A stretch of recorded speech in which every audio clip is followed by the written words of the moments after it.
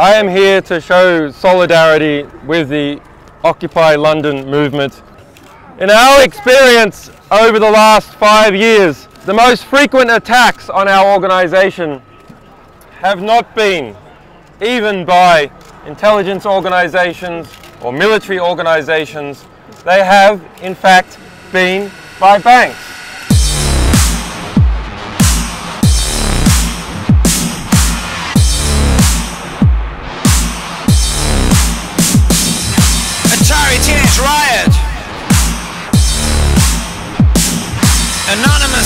Teenage Riot No justice, no peace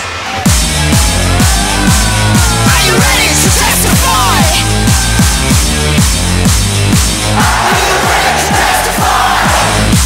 Black Are you ready to testify?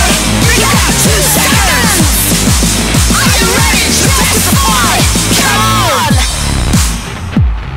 There's a unifying axis of government and corporate power. Lawless and unrestrained. That's what we should talk about. Corporations exploit the power of the state To further enhance their power And the real criminals get away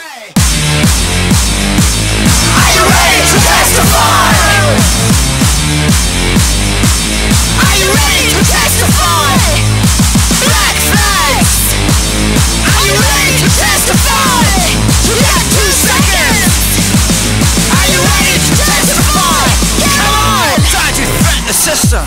You have the full weight of law Come crashing down upon you. So you don't resist. Surveillance Goons Force us to be silent.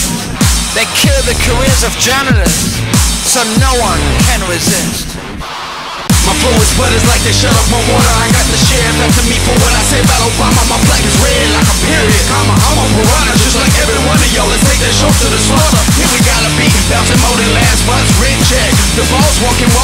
with a pimp People are here We need to live the net We low paid prostitutes with no fishnet Reed and Scott this time To Homeland Security we are the bomb. Inform the staff the mob's on the lawn. And it ain't no soiree unless hip hop on they call this black flag, but I'm not an anarchist. I'm on some hammer shit, collecting Bruce Banner shit. Over a piano pitch, let the hammer hit. We're here collecting damages and handing knuckle sandwiches People cannot wear masks in London. They cannot wear facial coverings in London. And that basic anonymity is denied to people. I say that sometimes it may be legitimate to deny that anonymity, but we should not accept it until Swiss bank accounts and offshore bank accounts are also denied of their anonymity. Are you ready to testify?